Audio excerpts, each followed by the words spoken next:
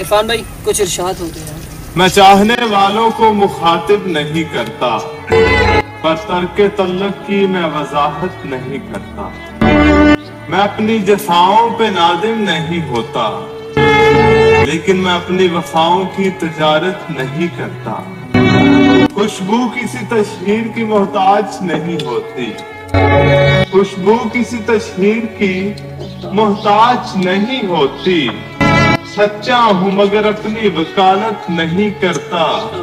मैं खिदमत इंसान का कायल तो हूँ मोहसिन, लेकिन कभी बंदों की इबादत नहीं करता। क्या बात है बहुत खूब यार।